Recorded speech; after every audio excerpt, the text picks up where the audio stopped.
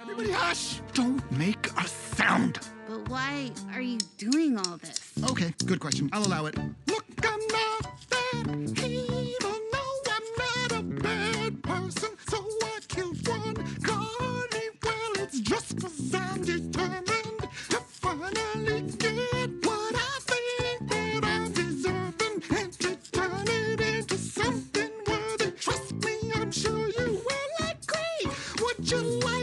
hear my master plan.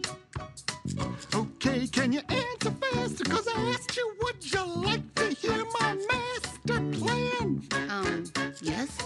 Okay, that's more like it. I'm so glad that you asked.